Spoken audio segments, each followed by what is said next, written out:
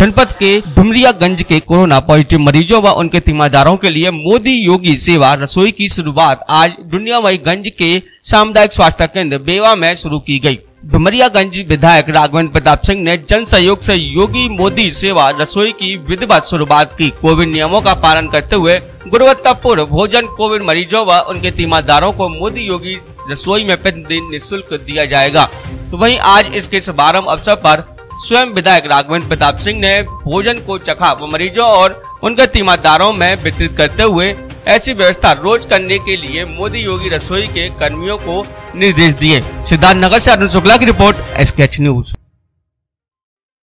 सहयोग से योगी मोदी रसोई क्या थोड़ा सा कुछ बताएँगे? यहाँ पे ऑक्सीजन युक्त 50 बेड का शुभारंभ तीन दिन पहले किया गया है और आपसी बातचीत से तय किया गया कि जो भी मरीज़ आएँगे, उनके परिजनों को जन सहयोग से सुबह के जलपान से लेकर रात तक भोजन, दूध मरीजों को भी और परिजनों को भी उपलब्ध कराया जाएगा। और अपने बैरंगी चौक, बेवा से और अगल बगल के क्षेत्रों के बहुत सारे लोग यहाँ सेवा में भी लगे हुए हैं। मैं भी प्रतिदिन एक बार दिन भर में यहाँ आकर के दूर से ही मरीजों का हालचाल लेने की प्रयास और यहाँ की व्यवस्था देखने का प्रयास करता हूँ। सेवा करने का अवसर कम मिलता है लोगों को। कोई भी मरीज़ कितना भी बीमार हो, उसको अगर सेवा भाव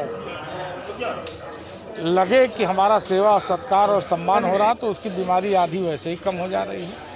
यहाँ दो चार लोग आना शुरू किए हैं और ठीक होकर के भी जा रहे हैं। तो अच्छी है भाई। और हमारी प्रार्थना है कि यहाँ से लोग ठीक होकर के जाएँ यहाँ आने पर उन्हें किसी प्रकार की दिक्कत भी ना हो।